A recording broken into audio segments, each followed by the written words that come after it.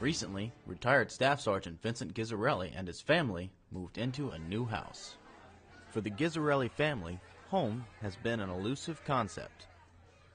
On September 11, 2001, Gizzarelli was serving in Kosovo, and a year later he re-enlisted, transferred to 1st Battalion 2nd Marine Regiment, and deployed to Iraq.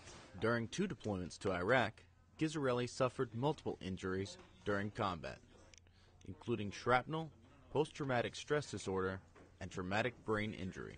The gunny in my shop said, I can tell you're struggling, and I know it's not from lack of effort because you're here all day. And I says, uh, is there something wrong? I said, I don't know. I can't focus. And uh, I got I'm missing simple things, and uh, I went and got checked out for it, and turned out I had a TBI.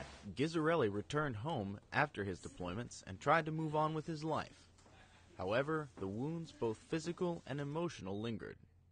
In 2009, he was medically retired from the Marine Corps. It hasn't been easy since I since I got out of the Marine Corps. Uh, financially, I mean, emotionally, it's been very difficult. But then in 2011, the Gizzarellis were selected to receive a new house from Operation Finally Home, a nonprofit organization designed to provide homes to wounded warriors.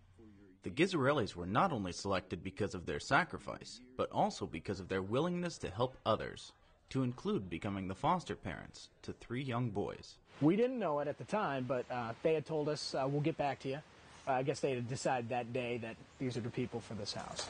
Gizzarellis don't have a mortgage or rent to pay, and they never will. But for the first time, they are finally home. Reporting from Marine Corps Base Camp Lejeune, I'm Corporal Daniel Wulz.